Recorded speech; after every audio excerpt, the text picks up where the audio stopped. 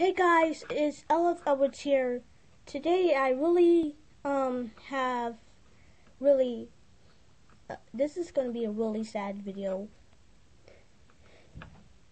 Do you remember that video I was making that was about to make the Freak Show original meme?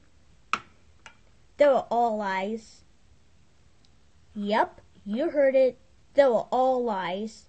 And I came here to apologize to all of you. Yeah, yeah, I know you're going to say, Elif, how could you do this to us? Even though my name is not Elif Edwards now, it's Tealie the Teal Fox now. But I don't care. I used to call myself Elif. So, yeah. Anyways, back to I, what I said. Well, I'm sorry about that. If you're mad at me, well, you still had to roll with it.